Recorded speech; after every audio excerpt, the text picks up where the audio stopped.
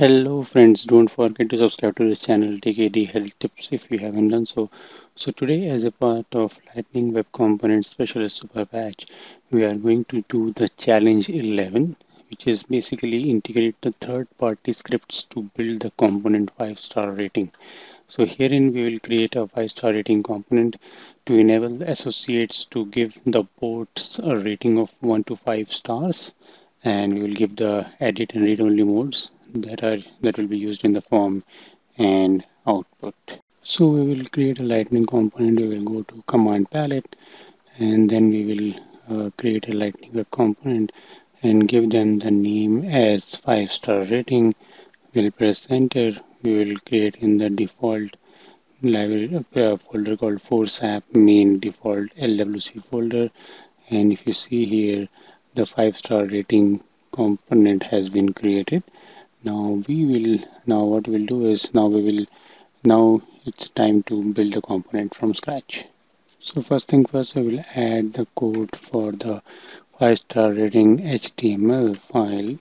Don't don't uh, get worried. We'll be I'll be posting this entire code to the to, to the to the mailing list and you will get all the code. So we'll save this code and then we will add the now we will you know we'll write we will add the code for the for for the five star rating js file.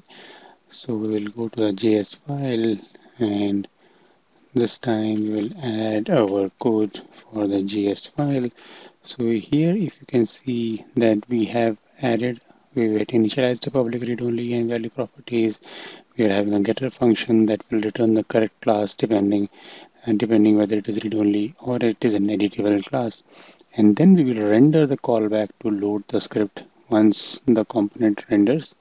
And then we will have a method to load the third-party script and initialize the rating and we will call the initialize rating function. Then we will display a toast with error message if at all there is an error loading the script. And then we will eventually we will do method to fire the event called rating change and we will we, wherein we will pass in the following parameters the uh, current rating. So basically whenever user selects the rating it will be shown up here. We now it is the time to add some code for the meta xml file. We will delete the existing ones and we will put the latest version as 52.0 we will target as lightning app page. And now it is the time to deploy the code into our SFD using the SFDX force command. Let's deploy this to our org. Now let us uh, using the SFDX force source deploy. Let's deploy our code to our new uh, to our source org. Org let us see if it has done and yeah so we have deployed our code to our org.